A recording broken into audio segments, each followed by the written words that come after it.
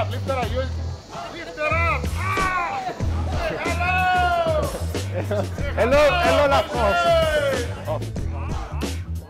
Hey. A, a little, little lust. No small one not allowed to catch in Australia. Have to be a minimum this size.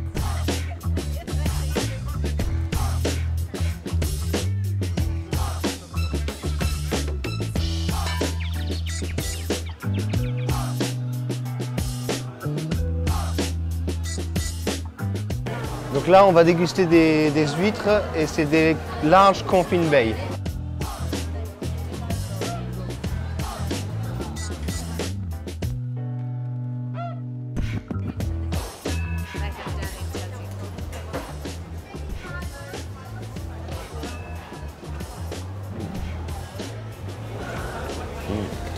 Elles sont très charnues. Elles n'ont pas grand chose à envier à nos, à nos, à nos huîtres, euh, nos fines claires. Bon, ça va choquer plus d'un si je dis ça, mais c'est vrai qu'elles sont bonnes. Mm. Thank. Donc là, on vient de changer en fait de marché. On a juste traversé euh, ce mur qui est derrière, derrière vous. Euh, en fait, euh, juste en face de moi, il y a le, poisson et la viande. Et puis là, on passe sur les salaisons. Voilà. Bon, les salaisons, comme vous pouvez le voir, c'est vrai que c'est- c'est sûr, on ne trouvera pas la même qualité, mais en tout cas, au niveau du poisson et de la viande, je suis vraiment surpris. Il y a vraiment de la belle, belle qualité.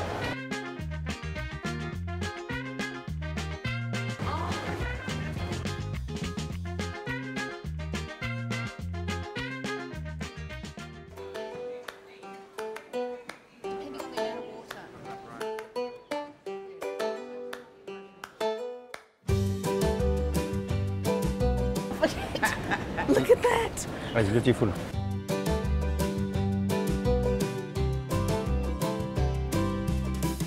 Bon, ça n'a pas vraiment de goût, mais. Mm. Par contre, la texture est adorable.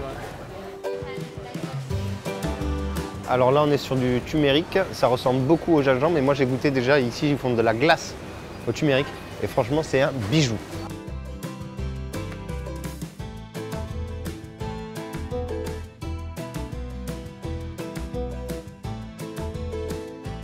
Là, en fait, on est sur le marché plus vietnamien, étant donné que, si vous l'avez bien compris, en fait, il y a différentes communautés. Et c'est euh, ici que, en, gros, tout a commencé.